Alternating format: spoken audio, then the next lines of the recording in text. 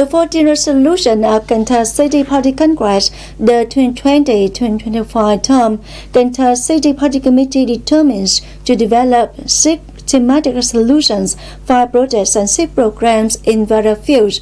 In the morning of May 27, the Standing Up Cần Thơ City Party Committee held a meeting with editorial groups to approve draft solution platform for program project of the Executive Committee of Cần Thơ City Party Committee for the 2020-2025 term.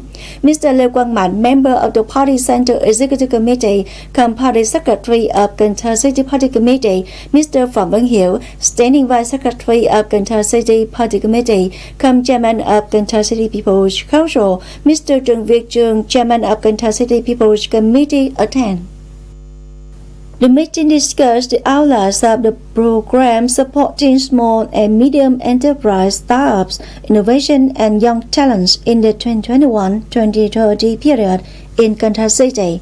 This program is divided into two phases, which include tasks and solutions to support businesses such as credit production and business premises, equipment renewal, information provision and trade promotion commerce, digital transformation, legal advice, and startup communication. For the project, the development of transport and logistics infrastructure in Cần Thơ City, the 2021-2025 period, the necessity has been clearly defined, including viewpoints, roles, tasks, and scope of the implementation. The project provides a detailed outline of the current state of land air transport infrastructure, thereby stating the causes, limitations, and solutions along with the expected connection to the logistics infrastructure.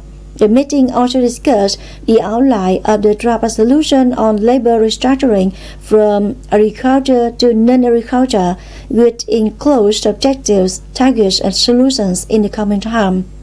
In conclusion statement, Mr. Lê Quang Mạnh, Secretary of Cần Thơ City Party Committee, directs editorial groups to record maximum contribution opinions, selection and supplementation into the draft solution project program at the same time, a need to open seminars to collect suggestions of expert scientists to build a solution project program to ensure exact feasibility.